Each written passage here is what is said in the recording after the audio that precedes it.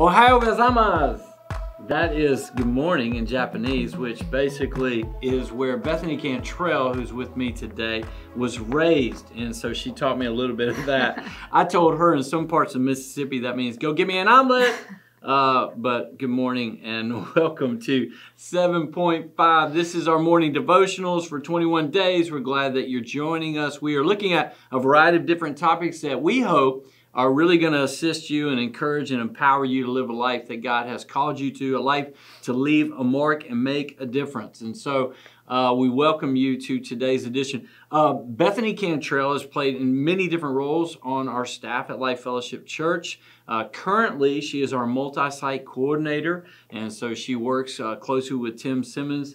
Uh, and so uh, we're, we're glad to have you here today. Glad to be here. we're talking about focus, and we're talking about how to live a life that's focused rather than be scattered and all over the place, chasing down different priorities and different focuses in the different components of our life because our life is is broken up it seems like in, into mm-hmm. different roles. And sometimes we we let those roles lead our life rather than live our life the way we should. And so uh, she shared with us a, a devotion. We're going to sort of bounce back and forth but it starts with a passage of scripture from john 10 10 where jesus says that the thief comes to steal kill and destroy but i have come to bring life and give you life more abundantly or life to the full. And so, why don't you share with us a little bit about the tension between uh, the fullness of life that we, we think fullness mm-hmm. is about and the fullness that God provides through sure. Jesus? Sure.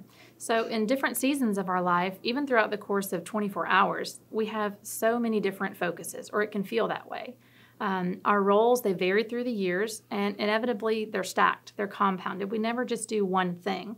So, for me right now, I'm a wife, I'm a mother, um, I'm a worker, I'm a coach, I'm a teacher, I'm a friend. Um, each task that we do related to every one of those roles takes effort and it takes time. Yeah. So, how do I prioritize all those things? How do I devote myself to every role during the 16 or 18 hours that I have that I'm awake during the day? Yeah. Um, if we make our focus on the role or the task, we are going to get bogged down because there's just so much to do. Yeah. So, like you said, Jesus tells us in John 10 10 that he came so that we may have life and have it to the full. Yeah. Most of us probably can and probably do. We just live life. It may not be to the full. We're just getting through our routines one day to the next. So, what if instead we choose to make God the focus, to live the life He's given us to yeah. the full? Yeah. And you put together some great scriptures around this idea, or actually a quote in the Bible from the Old to the New Testament. God and even Jesus says when they're talking to us, uh, so that you may live. This is sort of the, uh, the, the tag on the end of many different passages and promises. Isaiah, come to me and listen, so that you may live. Uh, follow my every command I give you in Deuteronomy. Honor your father and mother in Exodus. Seek good and not evil so that you may live. Follow justice. Uh, do what is right. Believe in me. Be filled with knowledge of his will so that you may live. All of these are focused on a singular thing. Mm-hmm. Uh, if you'll do what I've called you, if you'll be the person I've called you to be, you will live. You'll have that abundant life that I promise. You don't have to chase it through uh, being all these different roles mm-hmm. to the max or whatever that everybody expects but you can actually have the fullness of life that comes uh, exclusively from me. Exactly. I just love that in the word it so clearly says, do this so that you may live. Because yeah. we ask that question, how do I live life fully? And all of these instructions, if you notice, they weren't tied to a specific role, yeah. um, a specific task. It doesn't say you have to be a lawyer or a mother or a plumber. It doesn't say you have to be wealthy or poor um, anything else that might be part of your identity. But these are generic commands that he gives us that fit in everyday life and everything that we do. Um, another one of the most recognized teachings is in Deuteronomy mm-hmm. Love the Lord your God with all your heart, all your mind, all your soul, and all your strength, and love your neighbor as yourself. And in Luke, Jesus says about that verse, Do this and you will live. Yeah.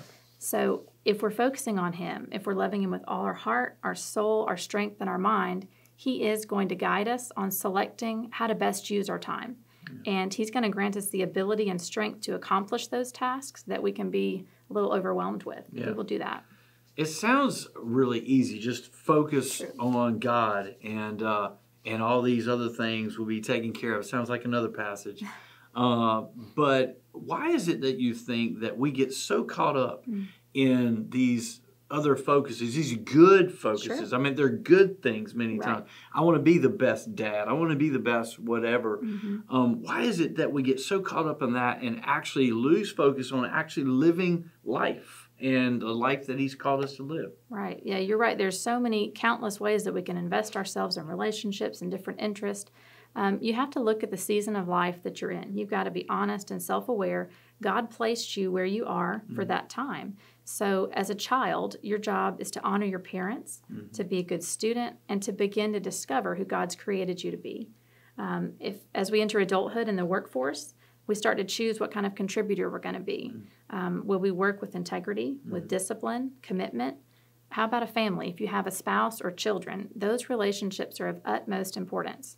If you're going to be committed in marriage to one person for all of your days, that requires priority. Um, and then there's parenthood. That opens up a whole new world that we're tasked with raising little people. Yeah. So one verse that keeps my focus right now where I am and guides priorities is Colossians 3:23 that you mentioned. Whatever you do, so whatever season you're in, whatever task you're facing, whatever you do, work at it with all your heart and work to the Lord, not working for humans. Um, I, I love that. I love the idea of seasons. That can help break down a life that seems like, man, 7.5 is still pretty large and luminous out there. And uh, I love the idea that you break it down by seasons of where you are and you can live the fullness of life in each season. Looking at life not in roles, because you're always in roles, Right. but looking at it in a season uh, can be a very helpful way of doing that.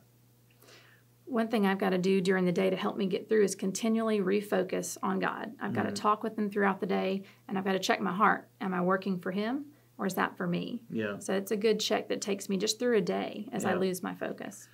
Well, everybody, uh, some of you are about to go to work, and so I'm gonna have Bethany pray for us. And some of you, maybe you're coming back from work. I don't know what your situation is, but uh, I pray today that you'll have that focus that you need, and that God will uh, help you focus on the life and not all the little individual roles of your life, and uh, and really get that pa- uh, priority down. So, Bethany, you mind praying for us today? Sure. God, I thank you so much for who you are. I thank you that um, you are good and that you give us all these instructions so that we may live, that you came that we can have life um, and have it to the full. Um, God, I pray that we would focus on you each day, that we would check our hearts and just think, Am I doing this for you? So, am I doing it with the right heart? Um, I pray that you would guide us each day and draw us to your word so that we can live for you and live a full life. In your name I pray. Amen. one of the ways that you can stay focused is uh, uh, 21 days lfchurch.tv it's our read pray fast uh, resources and so we hope that you'll make that available. Tell them goodbye in japanese. Sayonara.